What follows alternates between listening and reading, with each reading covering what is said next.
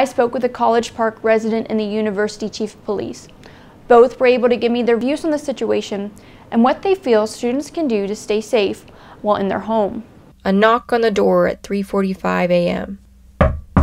A scream from down the hall, gunshots fired. That's what political science major Casey Frederick heard while in her apartment at College Park. That was really disturbing because like obviously there's something like there's something putting people in distress right now. WVU Police Chief William Chedester recommends doing simple things like locking your doors, paying attention to your surroundings, or being with groups of people you know.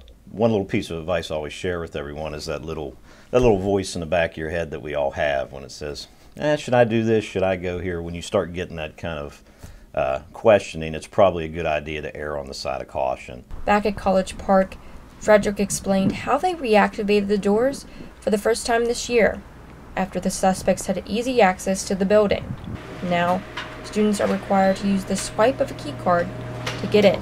I think they're doing what they can to kind of make everyone else feel safe, but that came at like somebody's life. Chief Chedester says if you see something out of the ordinary, to contact the university police. Reporting for J386, I'm Claire O'Neil.